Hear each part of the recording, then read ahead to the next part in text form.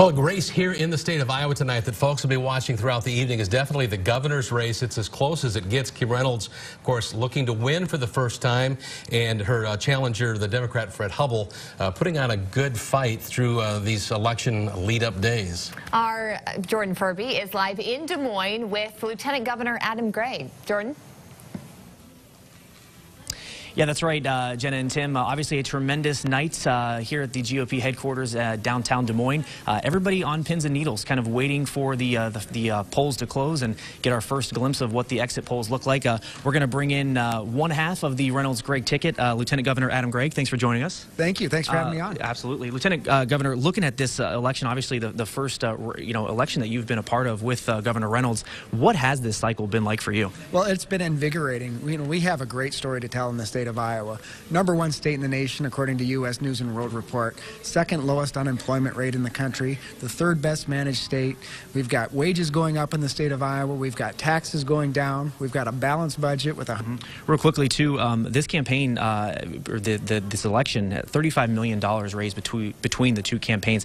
What does that speak volumes of as far as uh, the two different visions uh, both of these uh, campaigns are trying to present to Iowans? Well, we're definitely helping keep the doors open at KCAU, I think.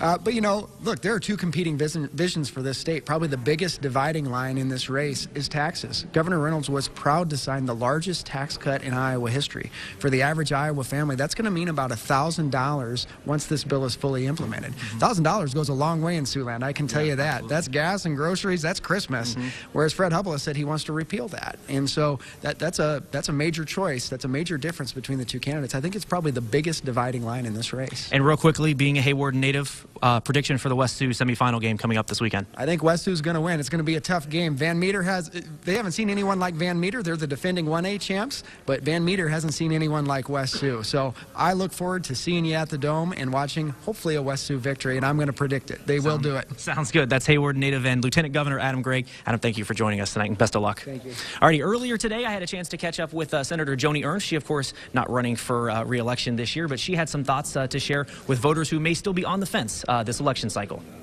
take a look at the facts and where we are. And as Iowans, we are much better off today than we were 10 years ago, maybe under the Chet Culver administration that Fred Hubbell worked in, where they had a deficit spending, uh, the budget was out of balance, where they had to do a 10% across the board cut to education. Mm-hmm. Um, that's the last time the state of Iowa cut education was during uh, the Overwatch there in another administration. So I would say look at the facts, folks. I Iowans are doing quite well. We have a compassionate leader that cares about Iowa, loves Iowans.